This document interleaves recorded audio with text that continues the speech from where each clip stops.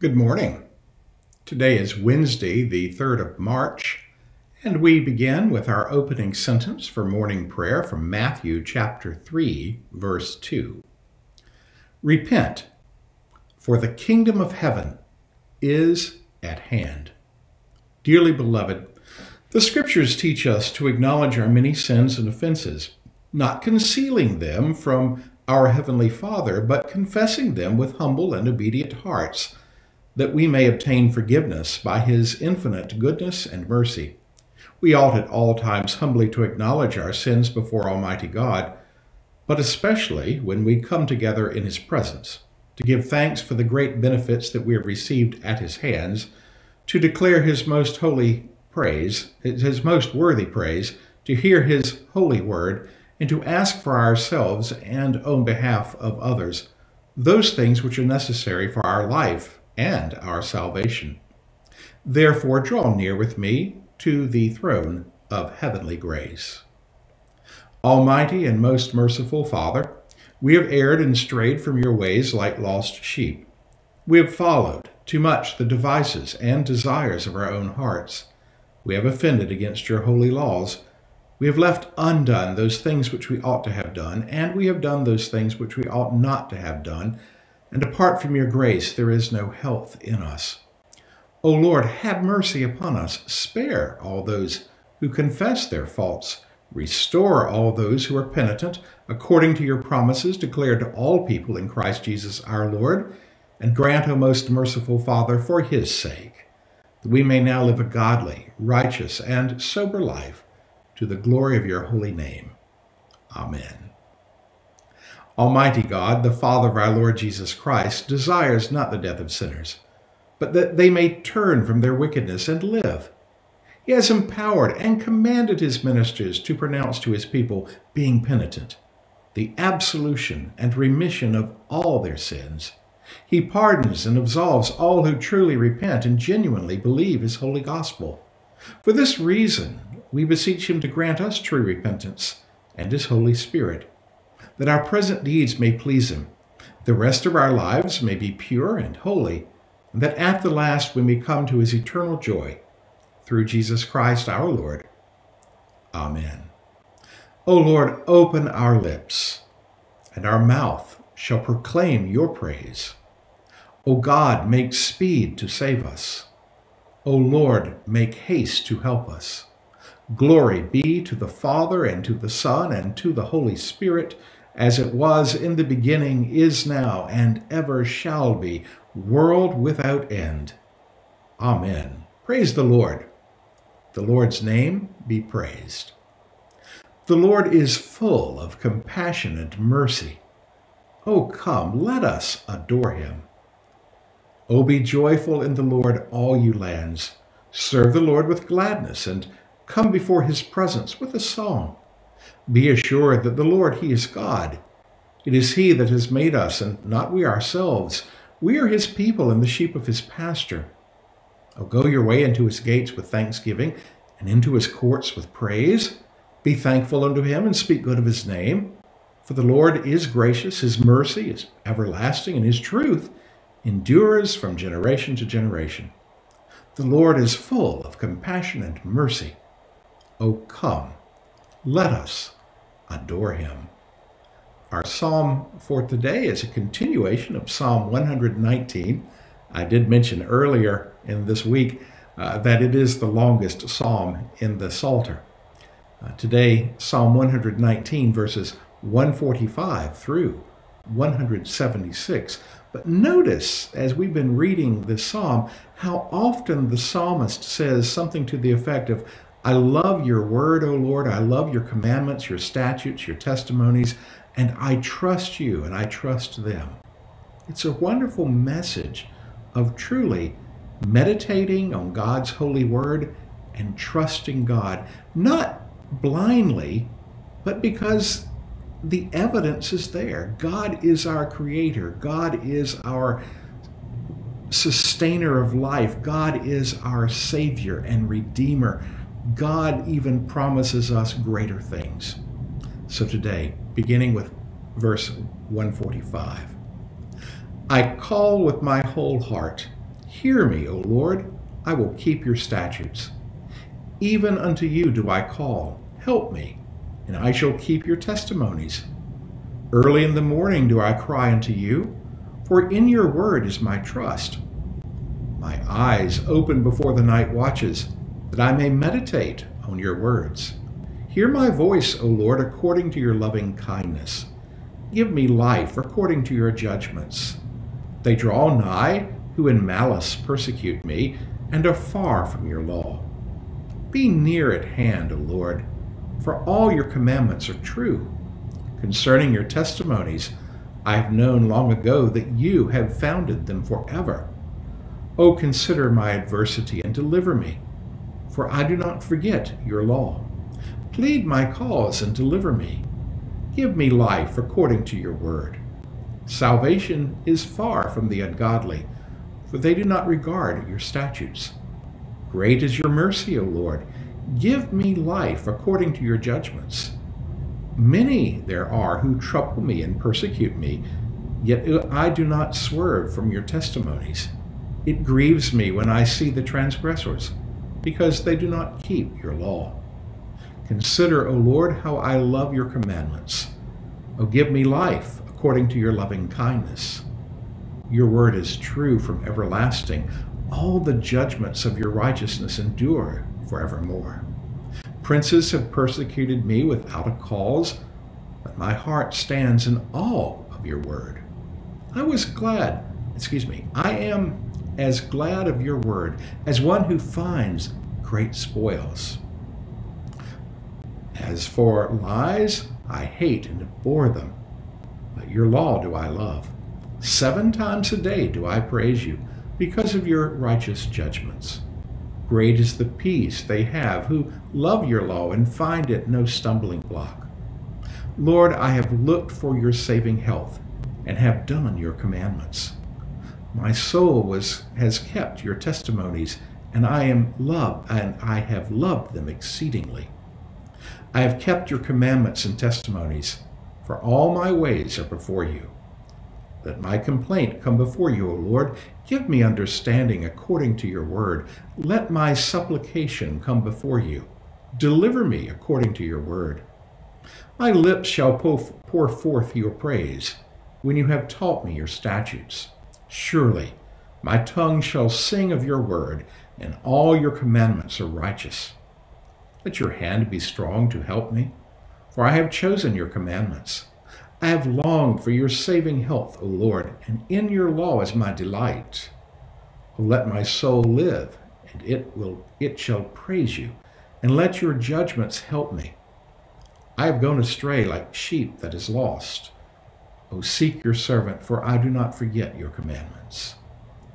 Glory be to the Father, and to the Son, and to the Holy Spirit as it was in the beginning, is now, and ever shall be, world without end. Amen.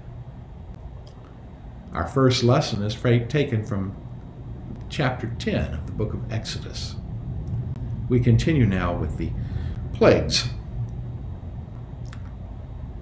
Then the Lord said to Moses, Go into Pharaoh, for I have hardened his heart and the heart of his servants, that I may show these signs of mine among them, and that you may tell in the hearing of your son and your grandson how I have dealt harshly with the Egyptians, and what signs I have done among them, that you may know that I am the Lord. So Moses and Aaron went to Pharaoh and said to him, Thus says the Lord, the God of the Hebrews, how long will you refuse to humble yourself before me? Let my people go, that they may serve me. For if you refuse to let my people go, behold, tomorrow I will bring locusts into your country, and they shall cover the face of the land, so that no one can see the land. And they shall eat what is left to you after the hail, they shall eat every tree of yours that grows in the field and they shall fill your houses and the houses of all your servants and all the Egyptians, as neither your fathers nor your grandfathers have seen, from the day they came on earth to this day. Then he turned and went out from Pharaoh. Then Pharaoh's servants said to him, How long should this man be a snare to us? Let the men go, that they may serve the Lord their God. Do you not understand that Egypt is ruined? So Moses and Pharaoh were brought back to So Moses and Aaron were brought back to Pharaoh, and he said to them, Go, serve the Lord your God. But which ones are to go? Moses said, We will go with our young and our old. We will go with our sons and daughters and with our flocks and herds, for we must hold a feast to the Lord. But he said to them, The Lord be with you if ever I let you and your little ones go. Look, you have some evil purpose in mind. No. Go, the men among you, and serve the Lord, for that is what you're asking. And they were driven out from Pharaoh's presence. The Lord said to Moses, Stretch out your hand over the, hand, over the land of Egypt for the locusts, so that they may come upon the land of Egypt and eat every plant in the land and all that the hail is left. So Moses stretched out his staff over the land of Egypt, and the Lord brought an east wind upon the land all that day and all that night. And when it was morning, the east wind had brought the locusts. The locusts came up over all the land of Egypt and settled on the whole country of Egypt. Such a dense swarm of locusts has never been seen before, nor ever will be again. They covered the face of the whole land so that the land was darkened and they ate all the plants in the land and all the fruit of the trees that the hail had left. Not a green thing remained, neither tree nor plant of the field, through all the land of Egypt. Then Pharaoh hastily called Moses and Aaron and said, I have sinned against the Lord your God and against you. Now therefore forgive my sin, please, only this once, and plead with the Lord your God only to remove this death from me. So he went out from Pharaoh and pleaded with the Lord. And the Lord turned the wind into a very strong west wind, which lifted the locusts and drove them into the Red Sea. Not a single locust was left in all the country of Egypt. But the Lord hardened Pharaoh's heart, and he did not let the people of Israel go. Then the Lord said to Moses, Stretch out your hand toward heaven that there may be darkness over the land of Egypt, a darkness to be felt. So Moses stretched out his hand toward heaven, and there was pitch darkness in all the land of Egypt three days. They did not see one another, neither did nor did anyone rise from his place for three days, but all the people of Israel had light where they lived. Then Pharaoh called Moses and said, Go serve the Lord. Your little ones also may go with you. Only let your flocks and your herds remain behind. But Moses said, You must let us have sacrifices and burnt offerings, that we may sacrifice to the Lord our God. Our livestock also must go with us, not a hoof shall be left behind, for we must take of them to serve the Lord our God, and we do not know with what we must serve the Lord until we arrive there. But the Lord hardened Pharaoh's heart, and he would not let them go. Then Pharaoh said to him, Get away from me. Take care never to see my face again, for on the day that you see my face you shall die. Moses said, As you say, I will not see your face again. The word of the Lord. Thanks be to God. O ruler, O Lord and ruler of the hosts of heaven, God of Abraham, Isaac, and Jacob, and of all their righteous offspring. You made the heavens and the earth with all their vast array. All things quake with fear at your presence. They tremble because of your power. But your merciful promise is above all measure. It surpasses all that our minds can fathom. O Lord, you are full of compassion. You are full of compassion, long suffering, abounding in mercy. Hold back your hand. Do not punish as we deserve. In your great goodness, Lord, you have promised forgiveness to sinners, that they may that they may repent of their sin and be saved. And now, O Lord, I bend the knee of my heart and make my appeal, sure of your gracious goodness.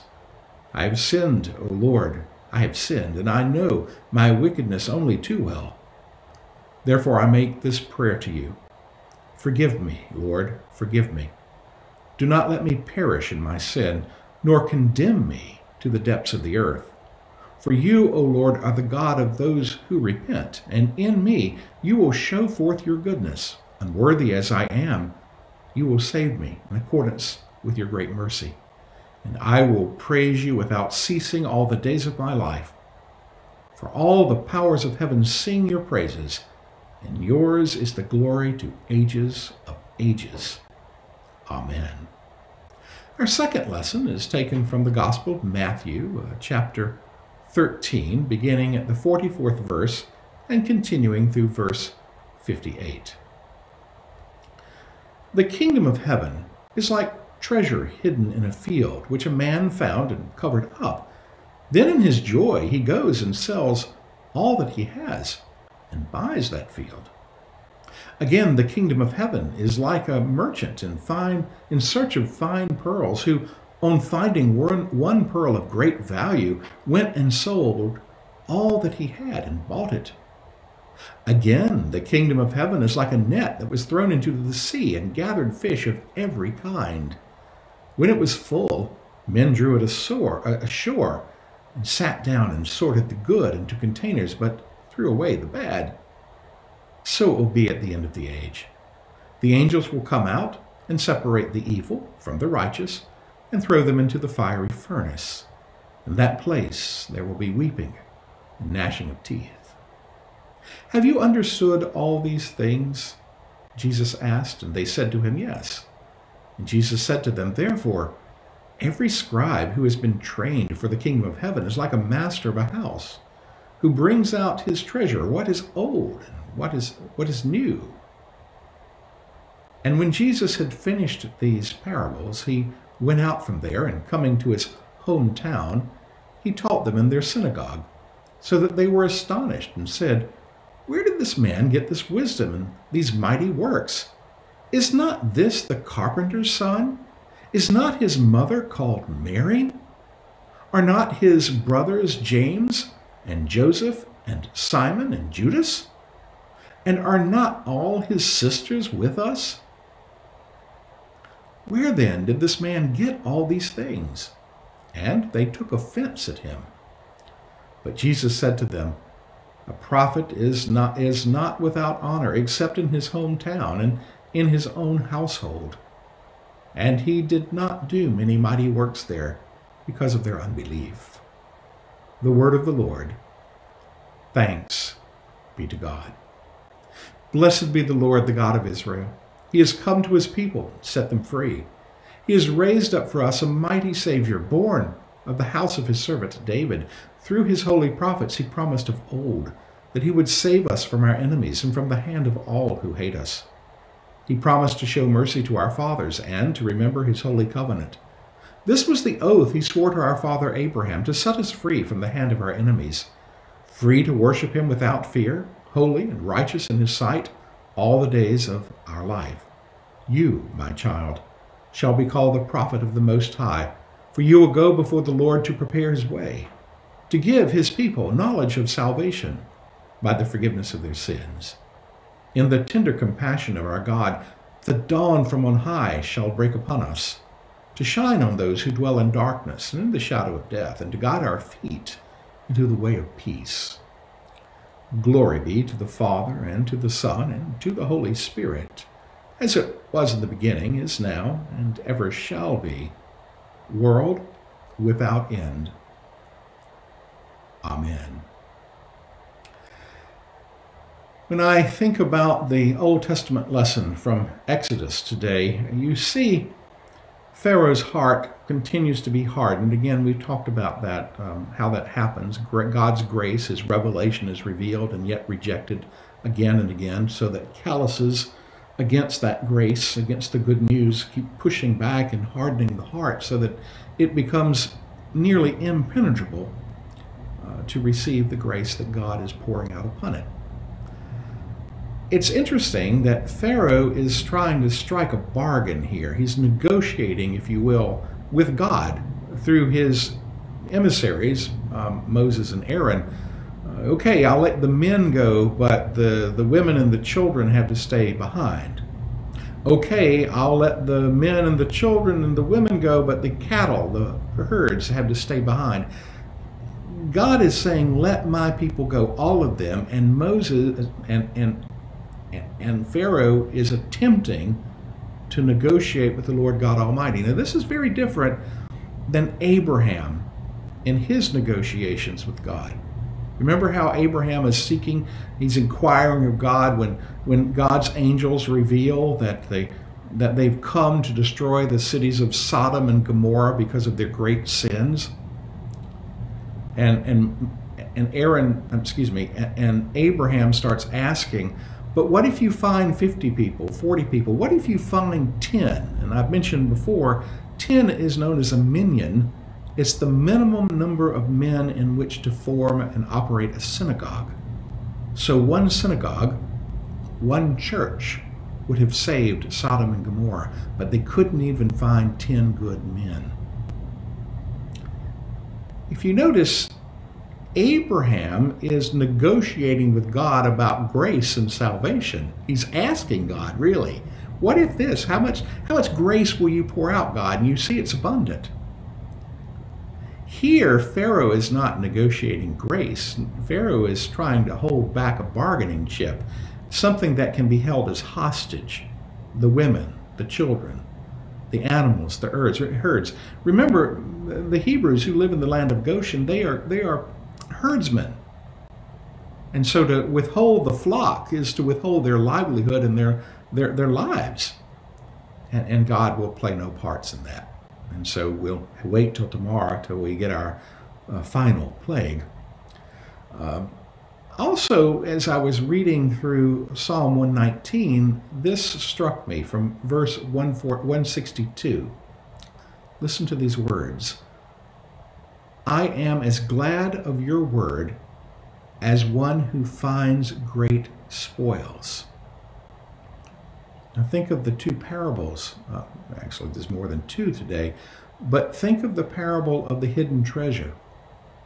The kingdom of heaven is like a treasure hidden in a field, which a man found, covered up, and then in his joy goes and sells all that he has and buys the field. Or the parable of a pearl of great value. The merchant in search for fine pearls finds one of great value and went and sells everything that he had and bought it. Verse 62 I was glad of your word as one who finds great spoils.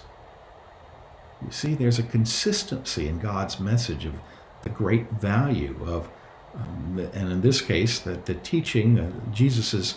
We had the Sermon on the Mount, if you remember. Now we have, if you will, what's sometimes referred to as the, the Sermon of the Parables that Jesus has given here. And, and, and let's reflect about the rejection of Jesus for a moment. He's in his hometown. Uh, they are in awe. You know, where does this man, where does Jesus, they know him.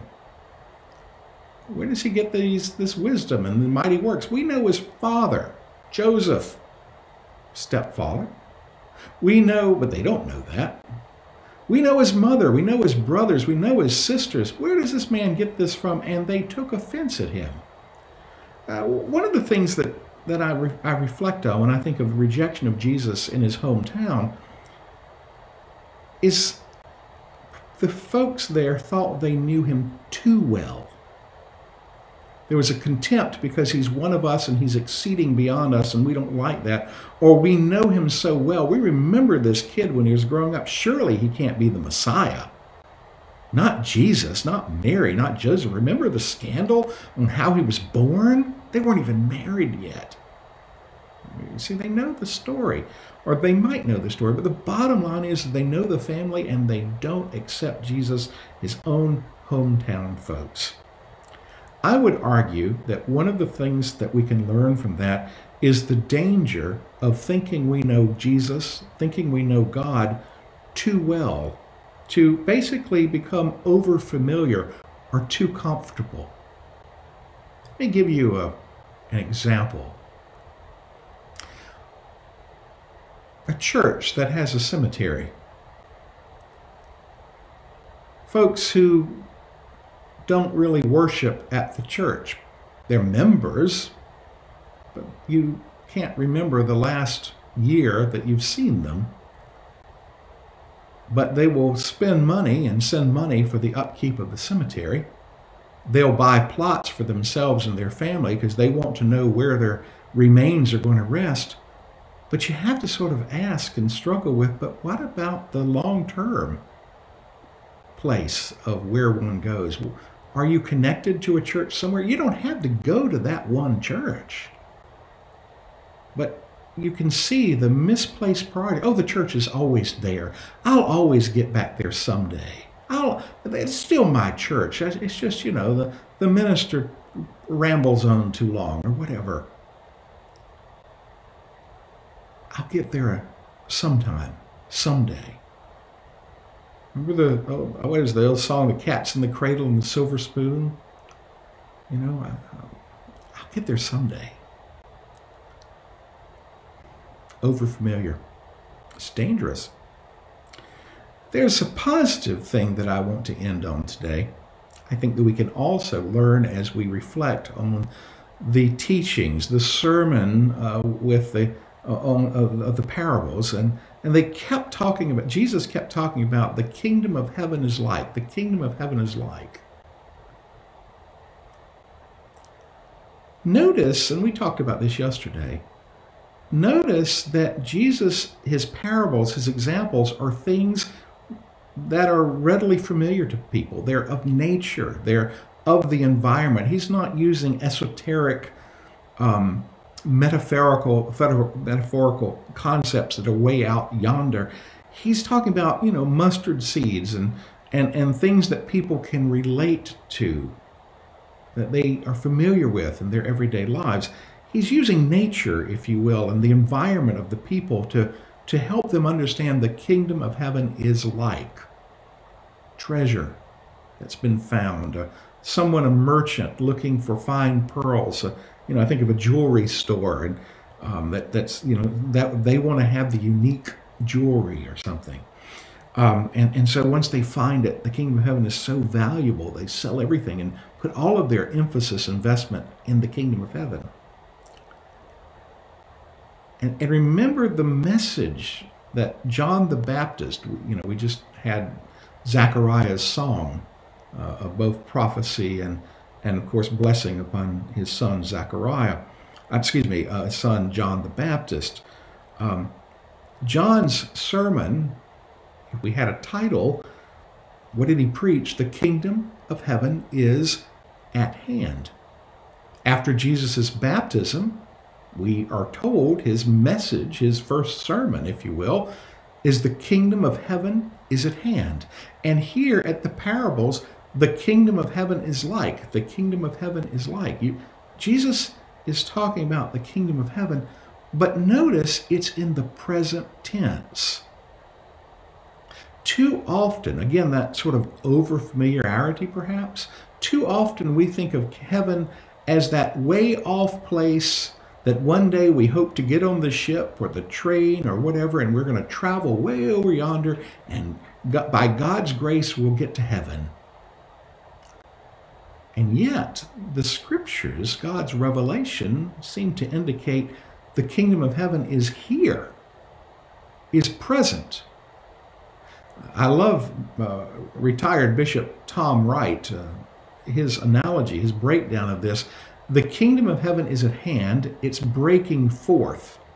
And in his teaching series, that was a video series, he started out with a beautiful photo uh, of, a, of a field with a lovely tree. It was all black and white. You could still see it was beautiful. I like black and white. But it, it, there it was a, a, beautiful field, a lovely tree, a panoramic view, black and white. And then at the top corner of your TV screen, color starts to come in. The kingdom of heaven is breaking forth. It's at hand. And so if we we really focus on the positive aspect of these messages, or this consistent message, the kingdom of heaven is presently at hand, then you and I have an invitation to be a part of the kingdom of heaven, not after we die, not as some future goal, but to be a part of it here as it breaks forth. How does it break forth? It breaks forth by the good news. It breaks forth by people living the gospel. It breaks forth by people living and sharing the gospel, not, not in a lecture series or standing from a street corner holding a Bible in one hand and pointing a finger at the other and yelling at people. It, it, it, the kingdom of heaven breaks forth as the disciples of Jesus, that's us, live and share our faith in Jesus. You know, it, it's, it's the smile that we bring with us. Now, today with face masks, people see our eyes, they don't see our smile.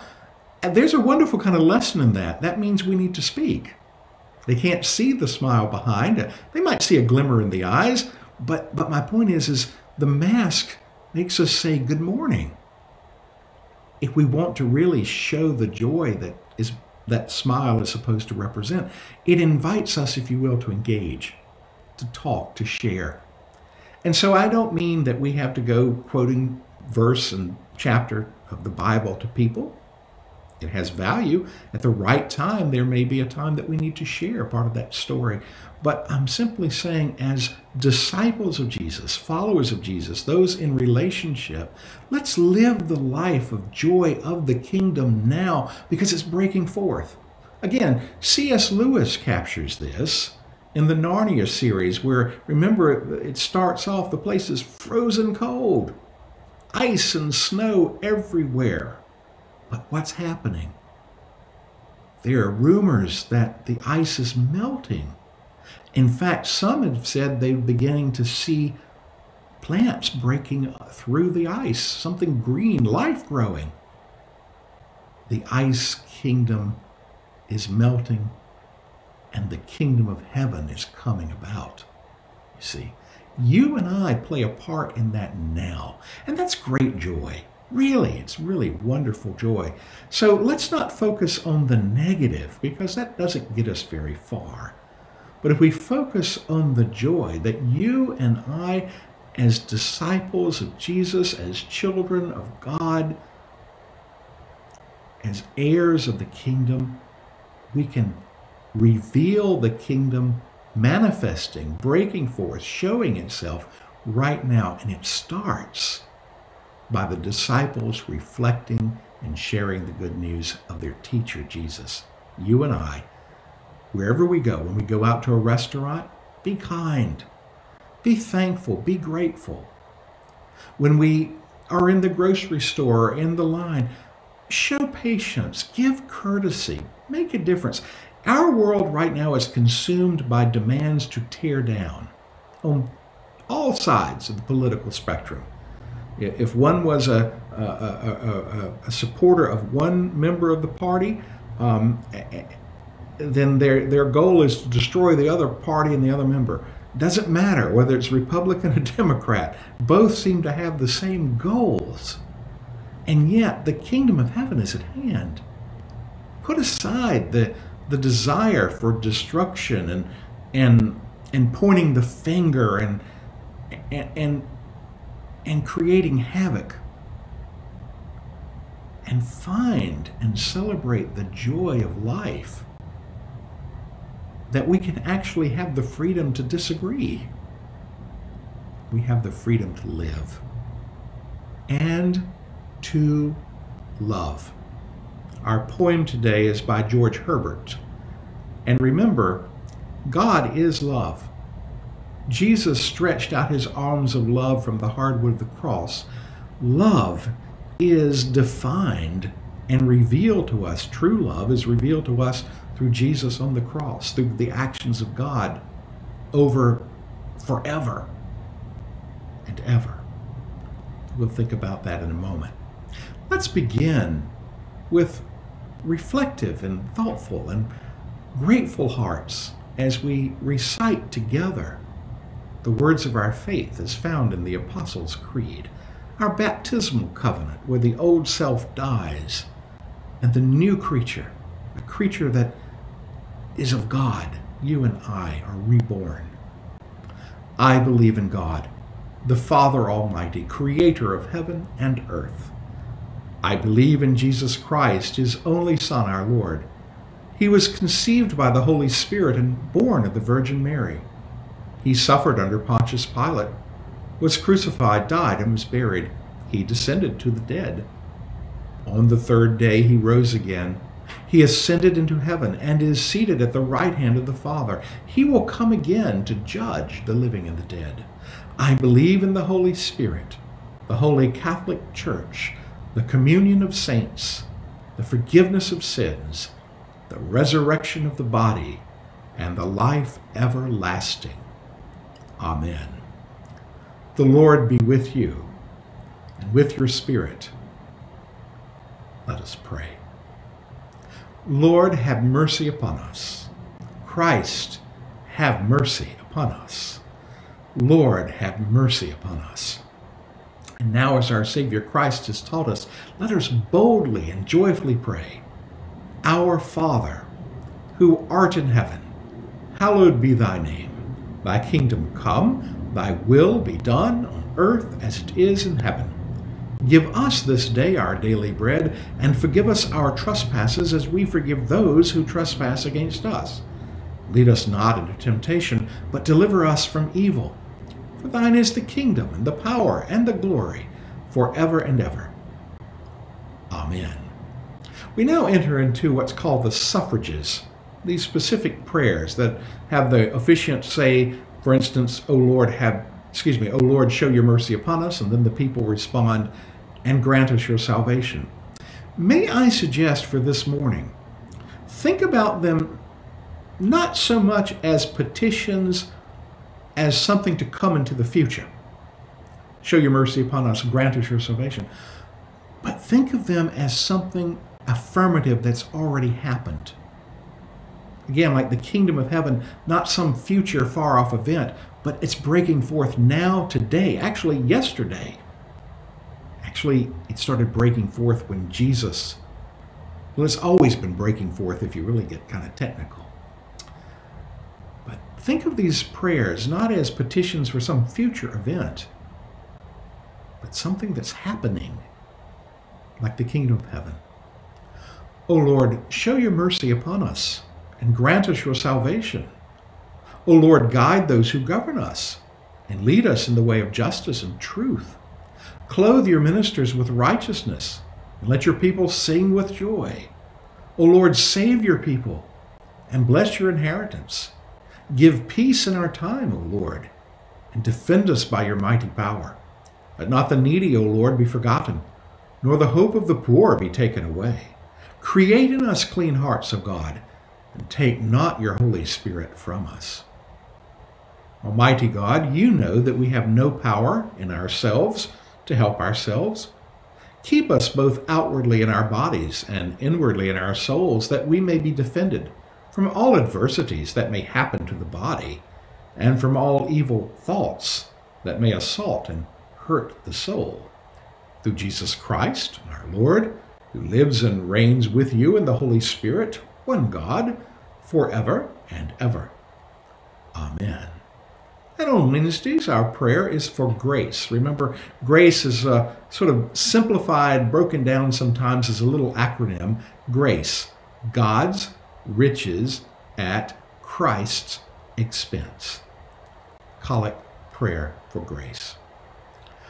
O Lord, our Heavenly Father, Almighty and everlasting God, you have brought us safely to the beginning of this day.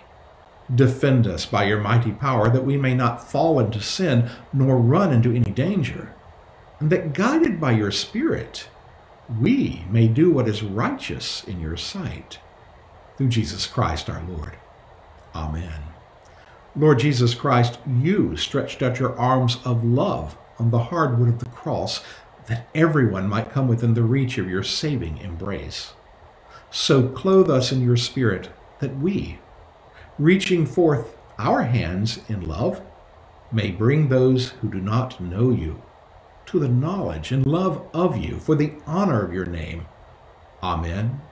At this time, I invite your prayers, intercessions, thanksgivings, petitions, celebrations, as the Holy Spirit places in your mind and on your heart, as you reflect about the, the world around you your, your family, your friends, your work, your retirement, your church family, your community, the affairs of the country in which you live, the world in which we all occupy.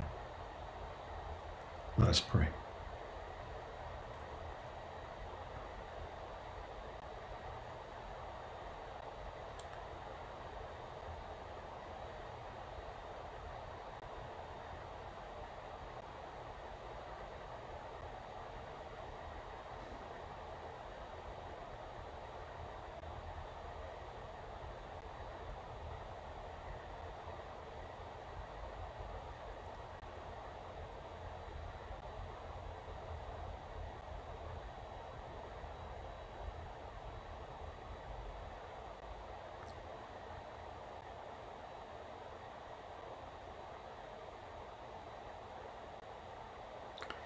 Please join with me in praying for the people of Myanmar as they strive for democracy, particularly for safety of family, and friends, and loved ones.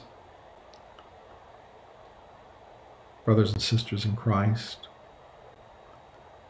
Pray for the peace in the Middle East, our brother Abraham, for a de-escalation of the enmity between peoples?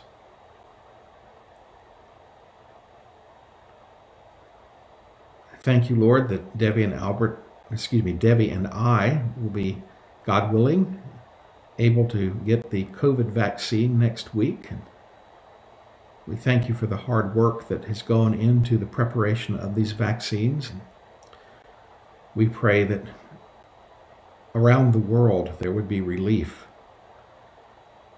that this plague and pestilence would be removed from us, O Lord.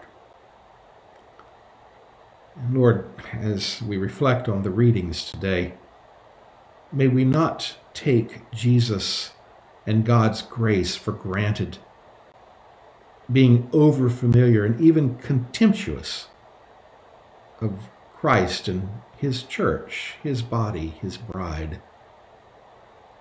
Let us not put off today the restoration of relationship with the Father, the Son, and the Holy Spirit, and the restoration of relationship with others.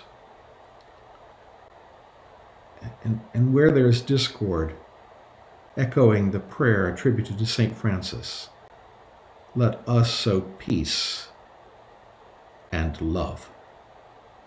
Amen. Please join with me now in the uh, general thanksgiving. Almighty God, Father of all mercies, we, your unworthy servants, give you humble thanks for all your goodness and loving kindness to us and to all whom you have made.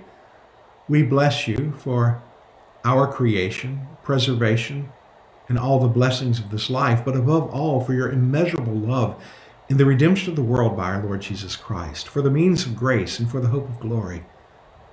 And we pray, give us such an awareness of your mercies that with truly thankful hearts, we may show forth your praise, not only with our lips, but in our lives, by giving up ourselves to your service and by walking before you in holiness and righteousness all our days.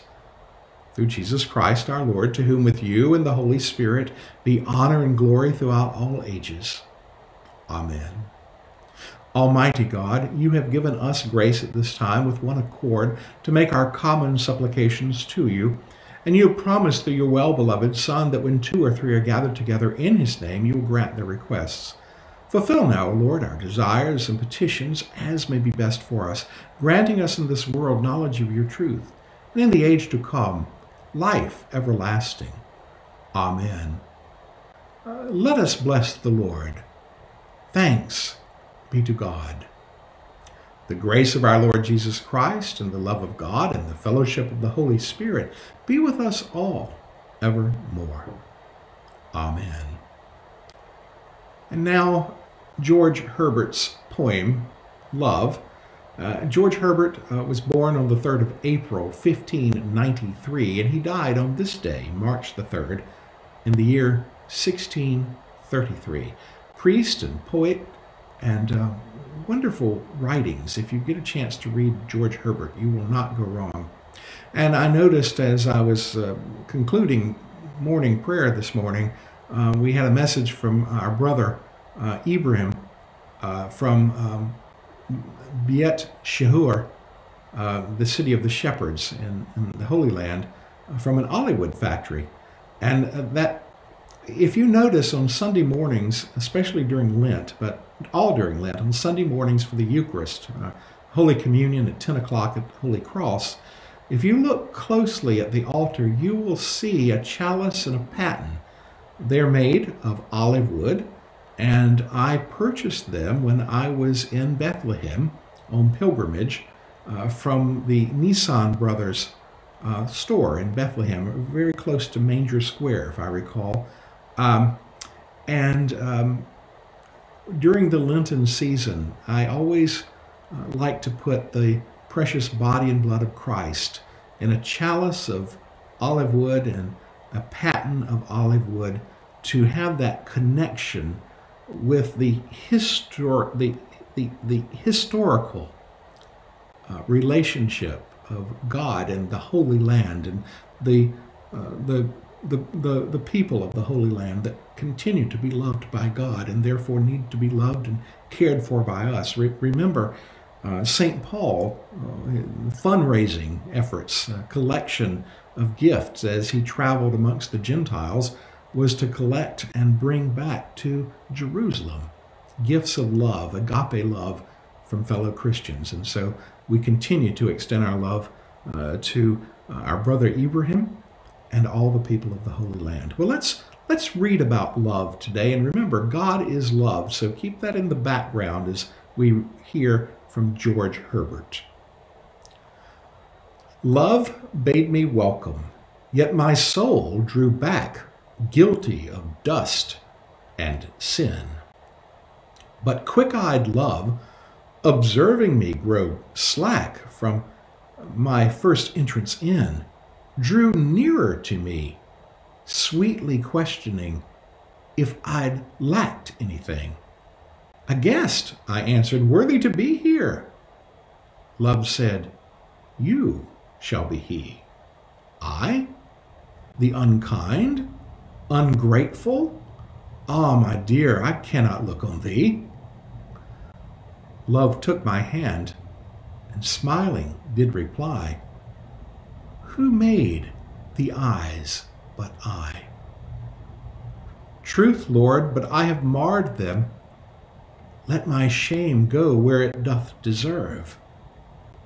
And you know not, says love, who bore the blame? My dear, then I will serve. You must sit down, says love, and taste my meat. And so I did sit and eat. Let us never separate the Holy Eucharist Holy Communion, the Mass, the Lord's Supper. Let us never separate it or attempt to separate it from the sacrifice of love from the hardwood of the cross, who stretched out his hands to embrace all of humanity, who says, Come unto me, all who are weary and heavy laden, are burdened, and I, Jesus says, will give you rest. My friends, it's too early to rest today. It's just 1050. We got work to do. God willing, I will see you uh, tomorrow for morning prayer on Thursday. I remind you, being Wednesday at Church of the Holy Cross, uh, excuse me, Church of the Holy Comforter, our sister parish in Sumter, uh, we have at 6:30 till 7:30 uh, our Lenten series on the love letters of Christ from the cross and that's broadcast uh, live on the Holy Comforter Facebook page. Uh, just simply get on Facebook, Google um, on the Facebook search Holy Comforter Sumter, you'll be able to find it. 6:30 tonight, God willing, uh, that will be broadcast. And so I look forward to having this. And it's a community-wide event, so people in Sumter are invited to come. It's not just for the internet. In fact, we would rather have you in person if at all possible. But that said, um, it's available online, And so that's tonight, 6.30 to 7. Uh, there'll be Compline. The teaching is about 20 minutes, followed by Compline. And it's a lovely, lovely Lenten service and discipline that the disciplines strengthen our faith, strengthen our walk, and encourage us. Remember, the kingdom of heaven is not way off yonder. It's already breaking forth, and you and I are part of it. God bless you, and I'll see you tomorrow.